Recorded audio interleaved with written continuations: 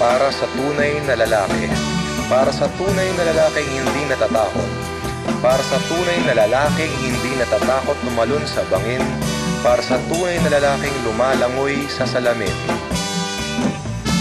Swabe at mabango.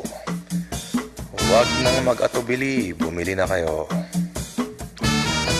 Ito na ang totoo. Ito na ang totoo. Dahil, ito na, ito na ang Astro. Astro Cigarettes.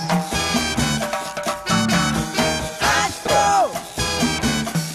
Astro Cigarettes.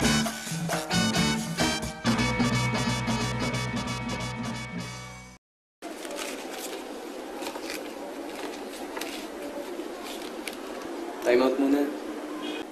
Sige, basta ikaw magbabala sa...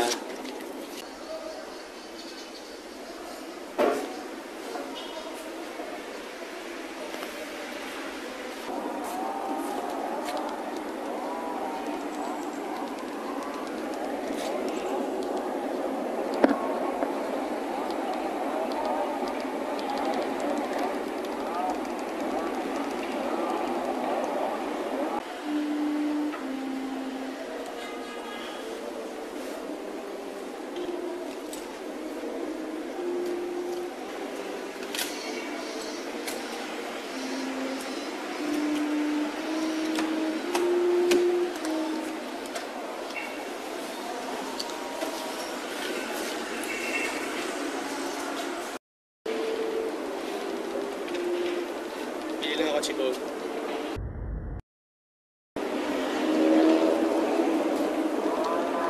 Kaya pagbalik ko, kabalasan na yan ha.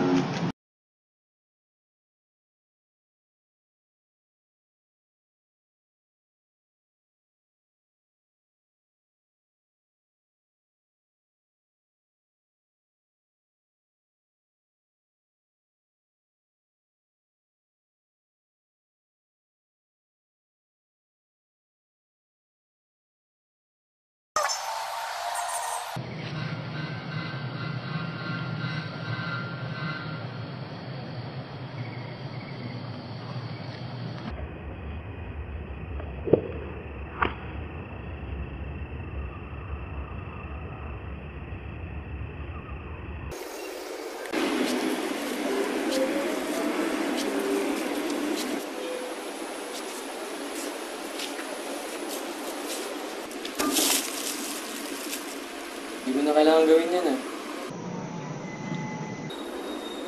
Friends? Ah. Mm. Oo, oo. Higas ka naman dito ah. Yung load yung tinutukoy ko. Wala lang, habit kasi. Ako na.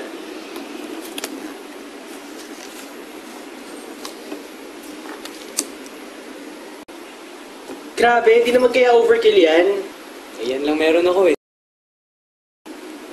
Oo na. Malamang, edi pass. So, sining ka-text mo kanina? Ah, wala. Kaibigan ko lang yun. Ah, kaibigan lang. Ha? Wala.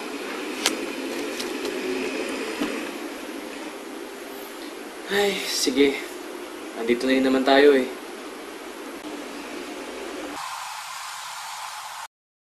Meron ako naging kaon pagkatapos maging tayo. Nasa paligid lang siya, no? Ano? Siya nga, di ba? Sinong siya? Alam naman natin kung sino eh. Kailan naging kayo? Nung araw na nag-break tayo? I mean, nung araw na humingi ka ng time sa akin? Kinabukasan. Shit! Putang ina! Sabi na nga ba, hindi ko na dapat sinabi. Putya, so ano yun? Habang buhay mo na lang ako pinapaasang magkakabalikan pa tayo? Hindi. Hindi mo ko naiintindihan. Ikaw ang hindi nakakaintindi.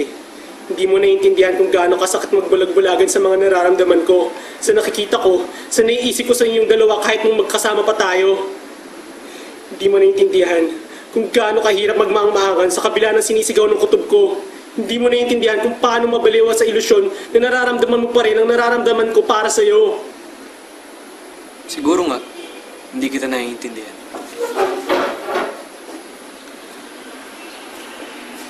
Hindi nga.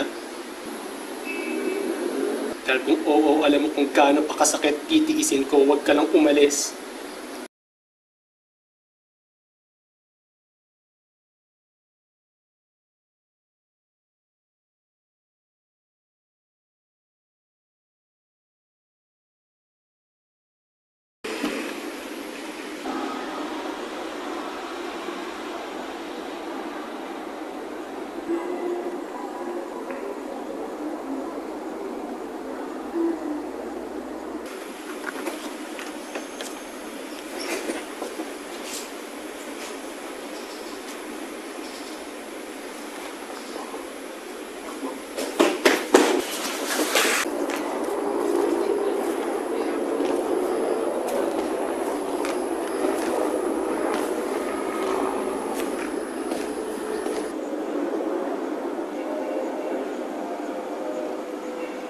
Meron ako naging kaon.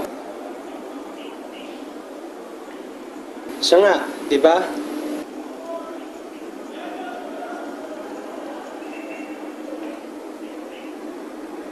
Kinabukasan.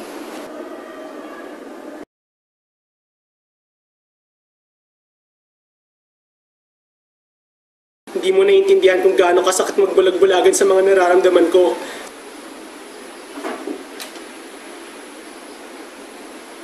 Sa nakikita ko,